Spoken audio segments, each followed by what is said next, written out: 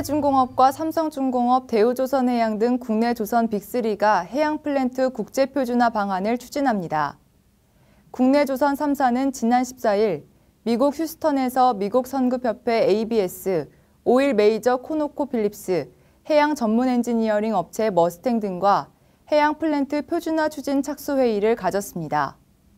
이들은 내년 상반기까지 해양 플랜트 자재, 설계, 업무 절차에 대한 표준화를 공동 추진하기로 했습니다. 그동안 해양 플랜트 분야는 국제 표준이 없어 발주처와 프로젝트별로 요구 자재의 사양과 설계가 모두 달랐고 설계, 생산, 품질 관리 절차도 상이했습니다. 때문에 소유 자재의 종류를 과도하게 늘려 구매 가격을 높이고 자재 조달과 관리를 어렵게 하는 원인으로 지적되어 왔습니다.